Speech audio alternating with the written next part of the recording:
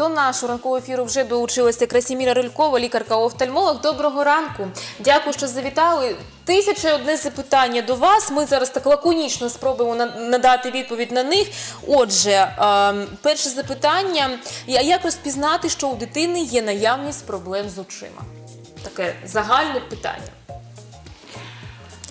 Если родители видят, что ребенок очень близко подходит к телевизору, если ребенок очень низко наклоняется э, к книжке, к тетрадочке, к раскраскам, если ребенок некрасиво пишет, есть, либо же если ребенок э, с малых лет, ну, грубо говоря, даже с грудного возраста, слабо интересуется м, предметами вокруг.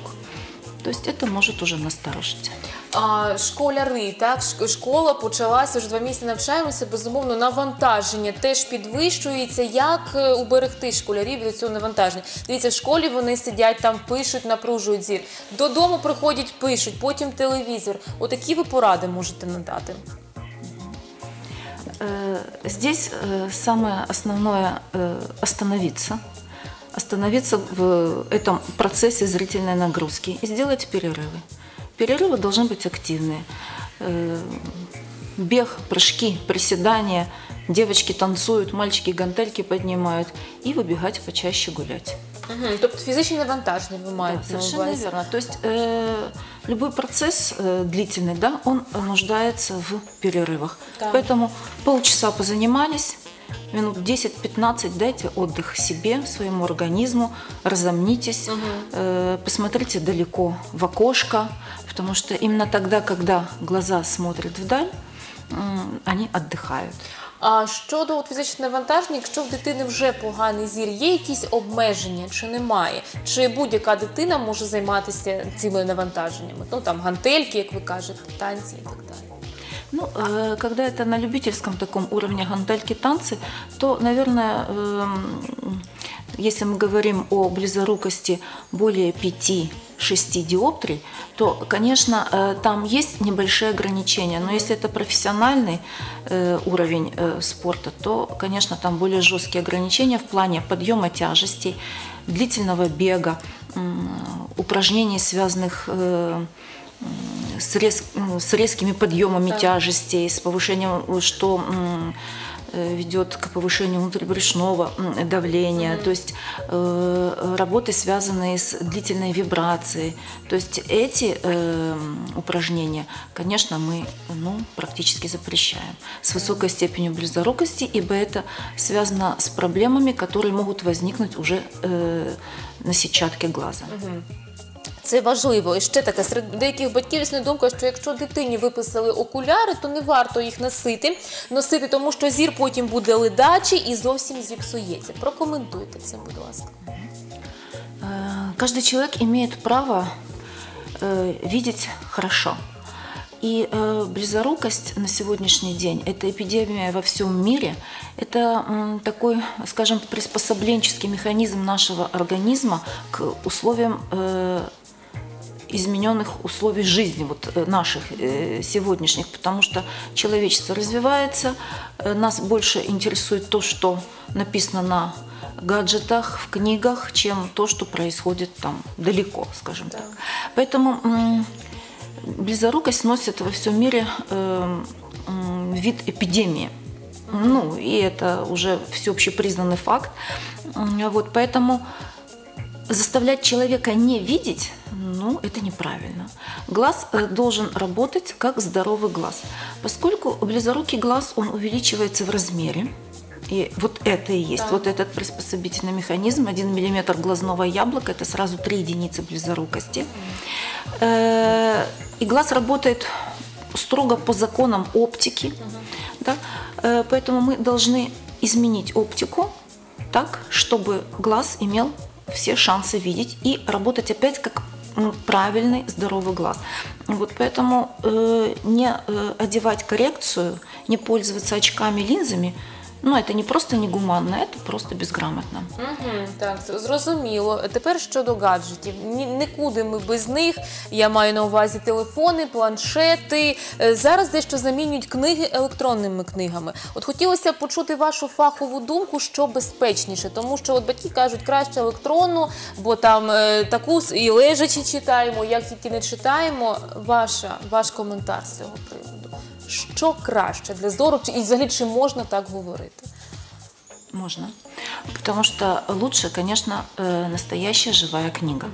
Ну, она лучше со всех сторон, она и с обучающей точки зрения хороша, потому что у нас еще очень много э, в плане обучения имеет значение зрительная память. Электронную книгу ты так не полистаешь, как странички, и не запомнишь вот это расположение, ощущение. Потому что и тактильное ощущение, и зрительная память, это все влияет на процесс обучения, скажем, улучшает этот процесс. Э, Любой э, учебник, если он подсвечивается, любая информация, если она подсвечивается, э, то это дополнительное напряжение на глаза. Поэтому что у нас подсвечивается? Телефоны, планшеты. Электронная книга подсветки не имеет как таковой, да? Поэтому, конечно, она несколько лучше и удобнее. Так. Ну, может быть, она не такая активная, быстрая м, в чтении. Ну и, естественно, обычная книга намного лучше. Зрозуміло, Е, скільки часу має читати дитина, щоб це було безпечно для очей, для зору? Полчаса почитал, упал, поприседал, размялся, отжался, пропылесосил. Якби ж це ще робили, Кота так? за хвост потягал. Хоча б кота. Щодо гаджетів, як правильно з ними поводитись? От давайте зараз візьмемо, яка має бути відстань для того, щоб якось убезпечити наші очі? Чи, чи немає такого? Все одно е, Конечно, есть. є. Э, Конечно, есть. И э, природа устроена так, что если мы э, смотрим на расстоянии 35-40 сантиметров, это нормальное расстояние. Это нормальное расстояние, и э, природа так нам его э, закодировала, что на этом расстоянии мы спокойно можем работать. Но дети в силу э, слабости мышечного корсета, в силу своего маленького роста, конечно, они раз и стараются упасть личиком э, в книжечку, в тетрадочку, в планшет. Как только мы начинаем падать носом э, в тетрадочку, расстояние это уменьшается. И, соответственно, э, мышцы, находящиеся внутри глазного яблока, они начинают сильнее сокращаться. Они уходят в тонус, они перенапрягаются. И это приводит к зрительным переутомлениям. Когда мы оторвались и посмотрели далеко, эти мышцы начинают расслабляться. Так. А ще таке, я от готуючись до ефіру, прочитала статтю, так зацікавило мене, що м, дискусія, що телевізори не шкодять здоров'ю, що це ще з тих часів такий стереотип, нічого страшного в них нема. Ваша думка, прокоментуйте. Ну, наверное, это меньшее зло из всего перечня. Наименьше, да? Да, да. э, Ну, конечно, если ребенок э, не сидит сутками за телевизором, потому что тоже, когда мы смотрим что-то увлеченно, мы э, начинаем рефлекторно реже моргать Высыхает слизистая глаза, да, и, собственно говоря, возникает синдром сухого глаза, который может быть как при просмотре телевизора, так и, естественно, при э, использовании компьютеров. И именно э, эта патология пришла в нашу жизнь с использованием компьютерных техник.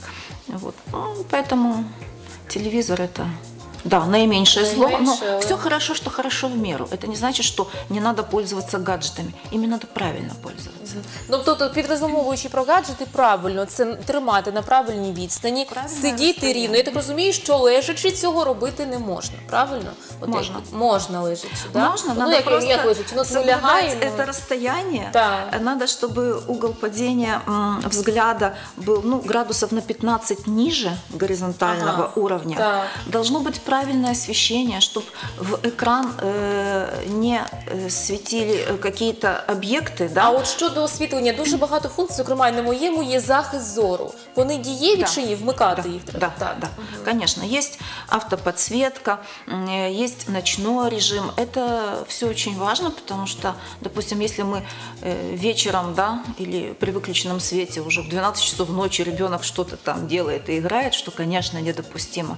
Надо использовать ночной режим, потому что освещенность экрана должна э, соответствовать, по сути, освещенности помещения, в котором котором находится человек.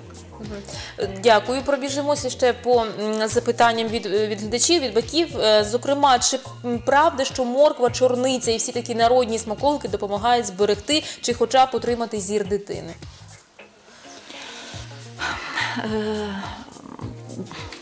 Это хороший антиоксидант. Так. Это хороший, м, хороший источник э, витаминных комплексов. С, Е, витамины группы В, э, каротиноиды.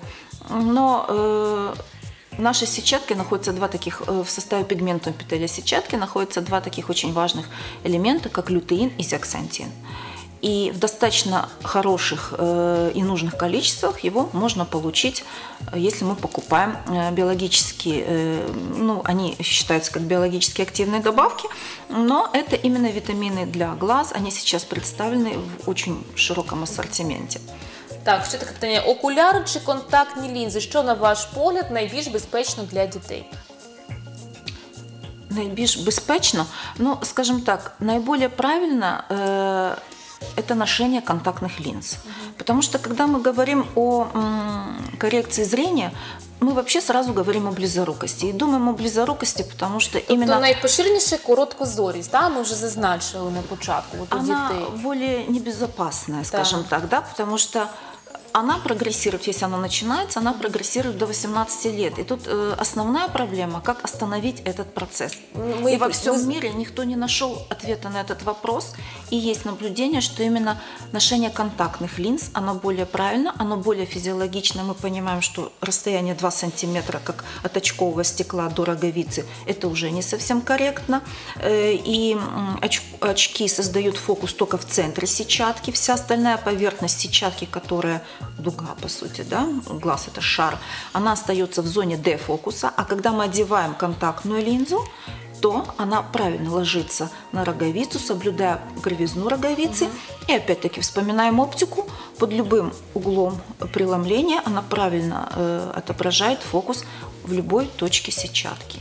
Так, тобто, все ж таки Контактные в суч- в линзы. Все сучасному зависит світі, от того, та. насколько безопасно и небезопасно. Это зависит от того, как, насколько правильно ребенок э, соблюдает правила пользования контактными линзами. Так, дуже швидко от час ще таке запитання: як підготувати, як слід готувати дитину, очі дитини до школи, коли навантаження на зір зросте? Чи є якісь поради?